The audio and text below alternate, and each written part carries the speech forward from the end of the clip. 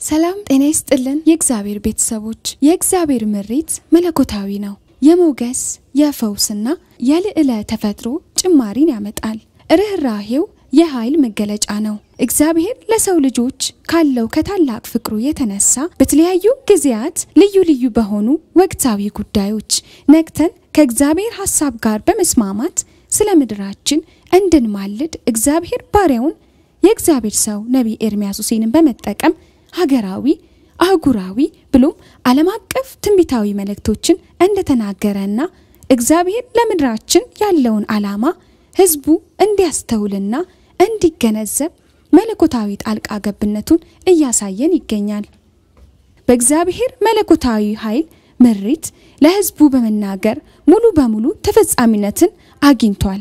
ለአብነት ያህል ስንመለከት ከ2008 ዓመተ ምህረት ጀምሮ ስለ ኮሮና ቫይረስ ወይንም ደግሞ ኮቪድ-19 የተናገሩት ሲሆን ይህም በ2012 ተፈጻሚነትን እንዳገኘ ከዚህ ቀደም መዘገባችን ይታወሳል። በአህጉራችን እና በሀገራችን ስለተፈጸሙ የአንበጣ መንጋ፣ ጨረቃ ወደ ደም እንደምትቀየር ከላይ የጠቀስናቸው ትንቢታዊ መልእክቶች በሙሉ ተፈጻሚነታቸውን ያገኙ መሆናቸውን ታዲያ ይህን ስንል እግዚአብሔር ባሪያውን የእግዚአብሔር ሰው ነቢይ ኤርምያስ ሁሴንን በመጠቀም ልክ እንደ ከዚህ ቀደሙ ትንቢታዊ መልእክቶችን ተናግረው ተፈጻሚነት ያገኘውን ልናቀርብላችሁ ወደናል። ተከታተሉን።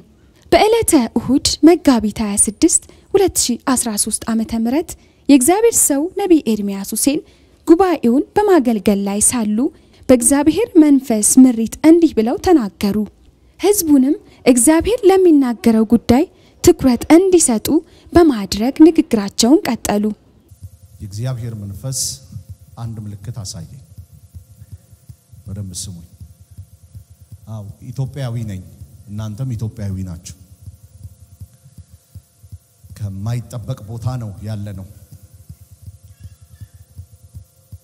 ግን እግዚአብሔር አንድ ነገር ስለ ዓለም ተናገረኝ። ልክ ጨረቃ ወደ ደም ስትቀየር በኢትዮጵያ ላይ ታስታውሱ ከሆነ ቀን ጨለማ እንደሚሆን የተናገርኩት መልእክት አለ። ያ ቀን ጨለማ ሆኗል። ከሱ በኋላ አሁን እንደገና ሁለተኛ መልእክት እናገራለሁ። በደንብ ስሙኝ። በኢትዮጵያ ላይ ታስተውሉ እንደሆነ ቀን ጨለማ እንደሚሆን የተናገርኩት መልእክት አለ። ያን ቀን ጨለማ ሆነ በማለት ህዝቡ ቀጥሎ የሚናገሩትን ትንቢታዊ መልእክት በማስተዋል እንዲሰሟቸው በመጠየቅና የኔ ድርሻ መናገር ነው በማለት ቀጠሉ።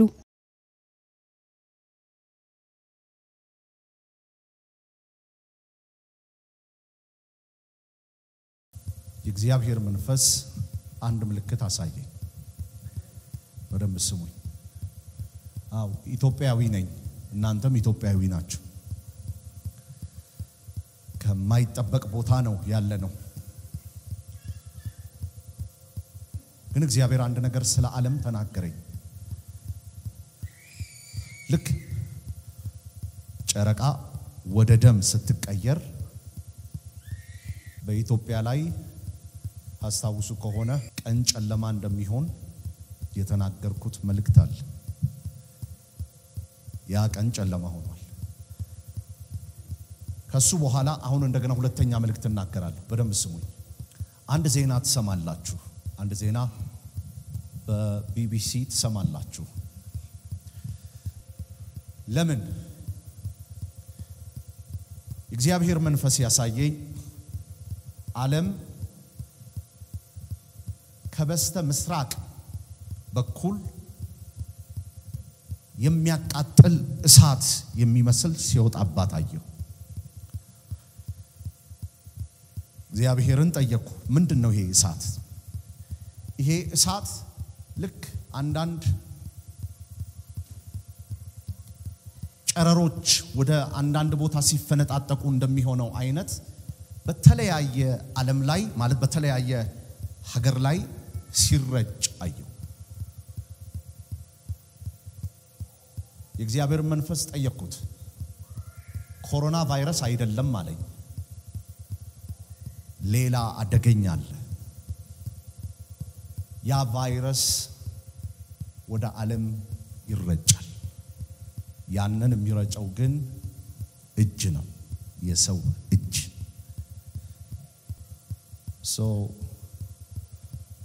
ይሄ በሽታ በመላው ዓለም ይሰራጫል።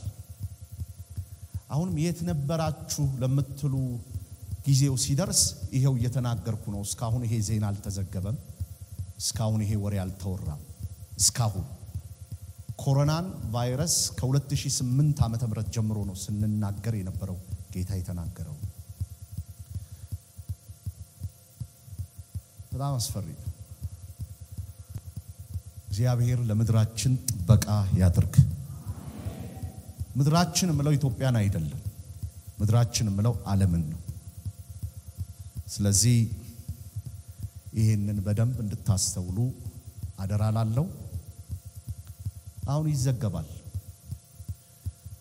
ኮሮናን gap ሲያደርግ ይዘገባል። ደግሞ የሆነ ቦታ እንደዚህ ግልጽ ላርግላችሁ፣ South Africa የታየው አይደለም። second wave third wave የሚባለው አይደለም። ኮሮና ቫይረስ አይደለም፣ አይደለም፣ አይደለም። አራት ነጥብ even የእግዚአብሔር መንፈስ ያ ጊዜ በጣም አስፈሪ ጊዜ እንደሆነ ይናገራል። ስለዚህ እግዚአብሔር ለሁላችንም ጥበቃ ያድርግልን። ከሞት በኋላ ስላለው ሕይወት አስተማማኝ እንጂ የሚያሰጋን ነገር የለም። ዋናው ነገር ሩጫዬን ጨርሻለሁ ወይ ነው። ሩጫችሁ እንድትጨርሱ እግዚአብሔር ይርዳችሁ። አሜን ነው ወይ? አትጠራጠሩ። እንድትፈሩ አያስፈልግም። የከበረ ሕይወት ተቀምጦልናል። ልልታ ጭብጨባ ለኢየሱስ ይሁን። አሜን ነው። አሜን ነው። እስቲ ከኔ ጋር በሉ የከበረ ሕይወት በሉ እስቲ ተዘጋጅቶልኛል። የስ ይሄኛው የሚታየው ዓለም እንዳለ የማይታየውን ደግሞ የምንገባበት ዘመን አለ። እግዚአብሔር ክብሩን ይውሰድ። እልልታ ጭብጨባ።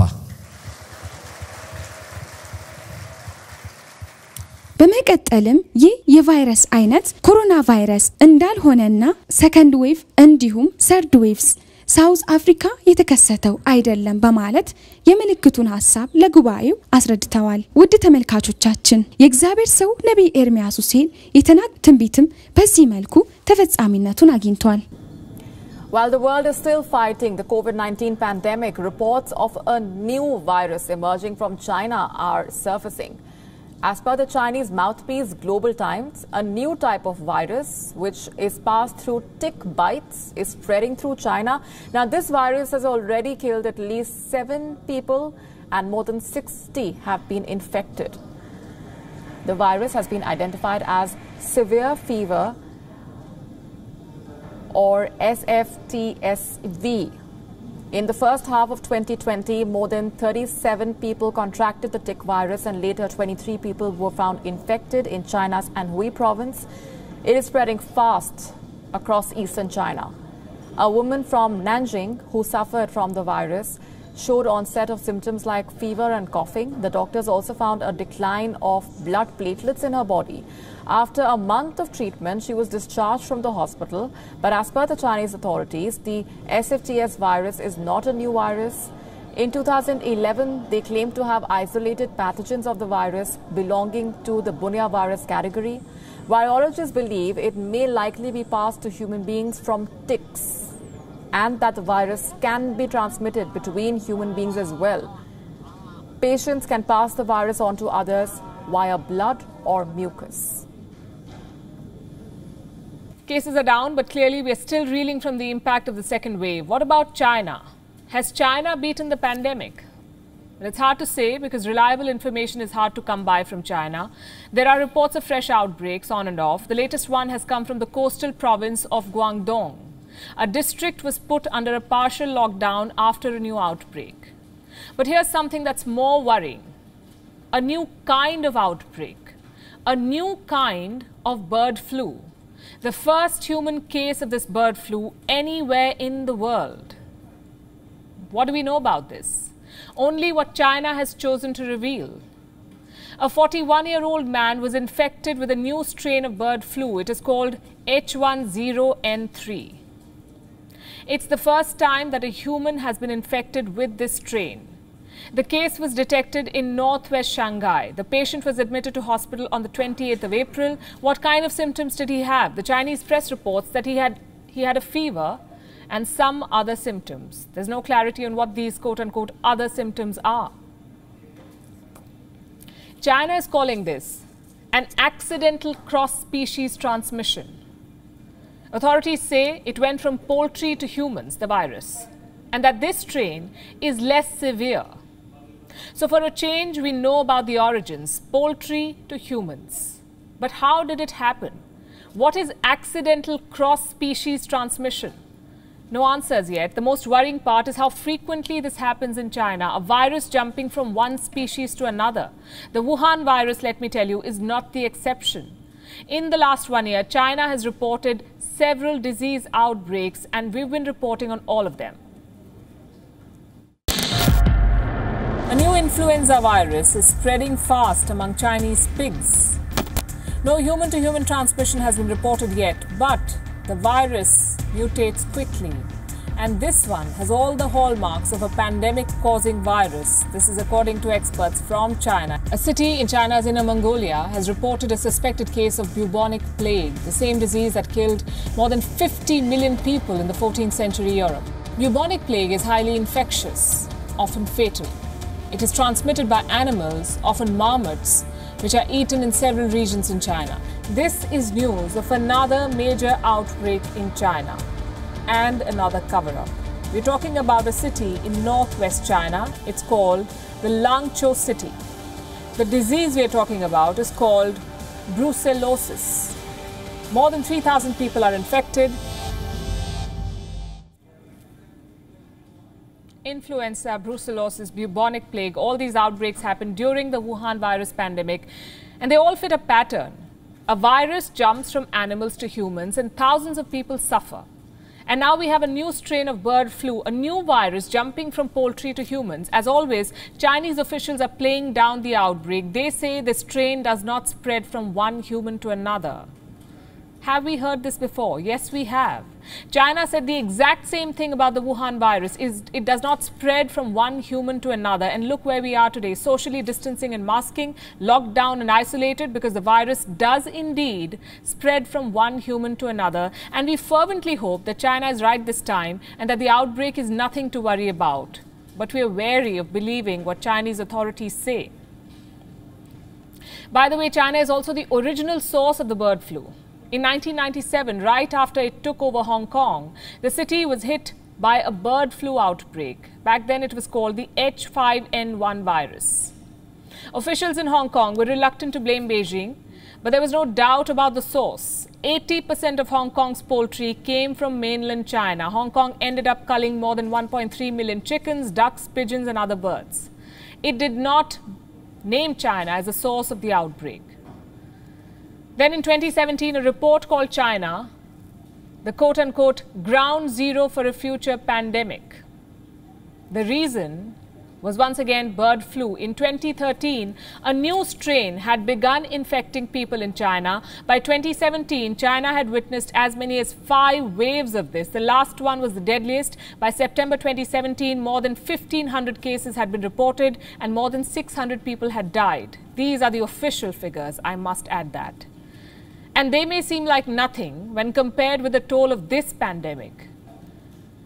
But this pandemic has also caught, taught us that the virus keeps mutating. It changes shape. It can take deadlier forms. So far, thankfully, bird flu has not escalated to a pandemic of global proportions. But it is very much around. It is spreading. Between December 2020 and January 2021, more than 7 million birds were culled due to a new strain of bird flu. This strain, too, never reached humans. But now we have another strain that does. It has jumped species, a virus that has infected humans, and once again, it has happened in China. And if there's anything the world has learned from this pandemic, it is to be on your guard when China says there is nothing to worry about. We'll keep tracking this story for you. WION is now available in your country. Download the app now and get all the news on the move.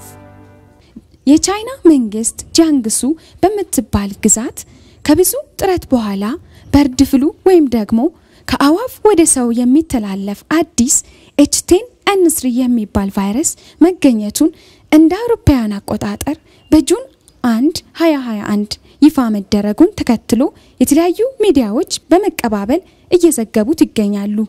ይሁን እንጂ ይህ H10N3 የተባለው ቫይረስ የተገኘበት ሰው የ41 ዓመት ጎልማሳ ሲሆን ምርመራውም ከወራት በላይ የፈጀ መሆኑን ተዘግቧል። ታዲያ በምን መልኩ ለቫይረሱ ተጋላጭ እንደነበር ከመናገር የታቀበው የቻይና መንግስት ይህ ግለሰብ ጤንነቱ በጥሩ ሁኔታ ላይ እንደሚገኝና ቫይረሱ ብዙ የመሰራጨት አቅም እንደሌለው ይፋ አድርገዋል።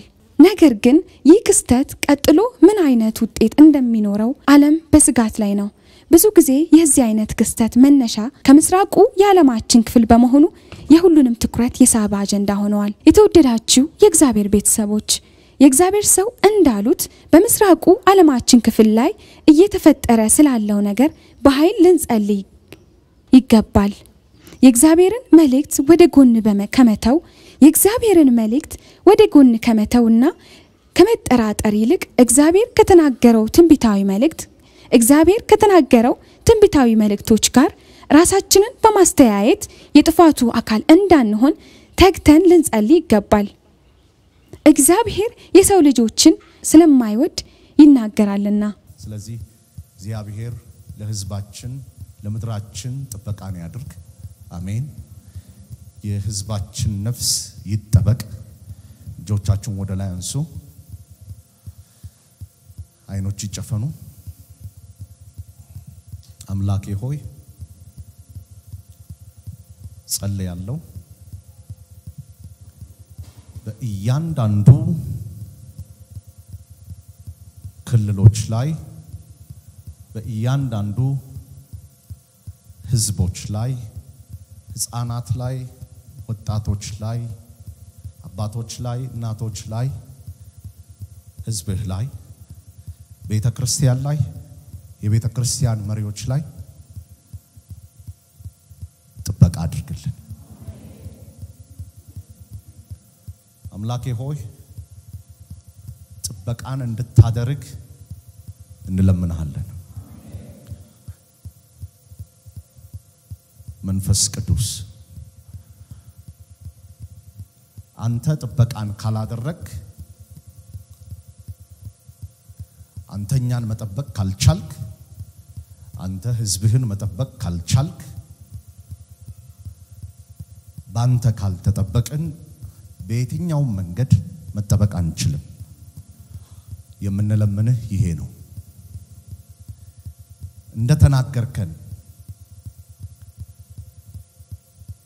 ዓመታዊ ትንቢታዊ መልእክት እንደተናገርከን በእሳት ውስጥ እንደተመላለሱት በማይቻል ነገር ውስጥ እንደተመላለሱት የተመላለሱበት ምስጢር ግን አንተ እዛ በመኖርህ እንደሆነ በማይቻለው ነገር ላይ የምንመላለስበት ዓመት ያንተ መለኮታዊ ጣልቃ ገብነት ሲኖር ነው። እግዚአብሔር አባት ሆይ we need ያንተን መለኮታዊ ጥበቃ እንፈልጋለን።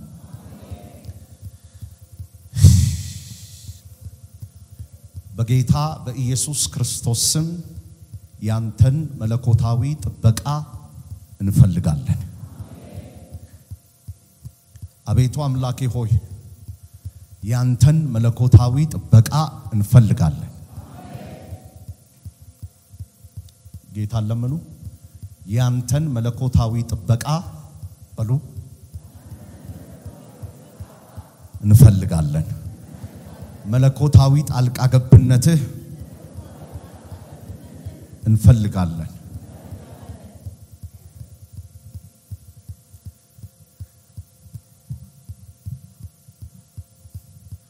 እግዚአብሔር አምላክ የተባረከ ይሁን። እግዚአብሔር አምላክ የተባረከ ይሁን። እግዚአብሔር አምላክ የተባረከ ይሁን። የተወደዳችሁ ተመልካቾቻችን እግዚአብሔር ባሪያውን በመጠቀም ስለ ምድራችንና ስለ ወቅታዊ አጀንዳዎች ትንቢታዊ መልእክቶችን ሲናገር ችላ ከማለት ይልቅ በንስሐ ወደ እግዚአብሔር ዙፋን ፊት ልንገባ ይገባል። ነገር ግን በቸለተኝነት መንስኤ የብዙዎች መጥፋት ከመታዘብ እንዲሁም እኛም የጥፋቱ አካል እንዳንሆን ተግተን ስለ ሀገራችንና ስለ ምድራችን ንስሐ እየገባን ልንጸልይ ይገባል። የእግዚአብሔር ሐሳብ ህልማችን ይሁን። እግዚአብሔር ማንም እንዳይጠፋ ስለሚወድ ይናገራል።